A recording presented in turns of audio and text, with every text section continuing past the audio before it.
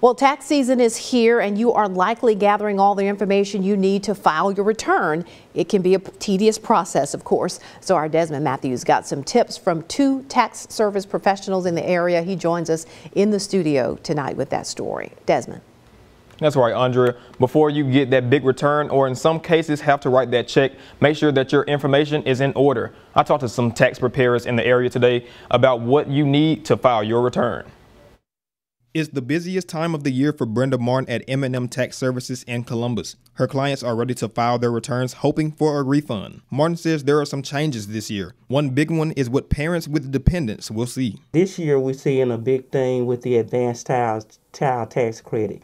July of this year, they started giving the children uh, $250 for the ones that was seven and older and the ones that's zero to six, $300.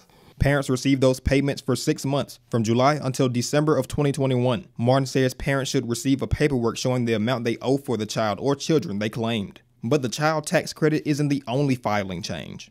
The stimulus payment that you got in 2021 have to be on your tax return also. If that money is not included in there, or you know, it's going to delay your return. Martin says the IRS encourages people to file their taxes online rather than on paper and to use direct deposit instead of receiving paper checks because those checks can be lost or stolen. In West Point, Melinda Miller is in her third year of preparing tax returns. And she says that if the information filed isn't correct, then people will have to wait a while longer for their money. To have true information from you because it not only reflects you, it reflects us. And if your numbers are not right, then it's going to cause a delay in your tax returns, which is going to be a big issue this year. Miller says people who work virtually will have to report their mileage and any other work related expenses. Farmers may need to pay closer attention to their filing this year. Farmer, if you lost cattle during the ice storm last year, make sure you make note of that and how many you lost, or if you received assistance from that. They offered assistance for people that lost cattle in the ice storm last year.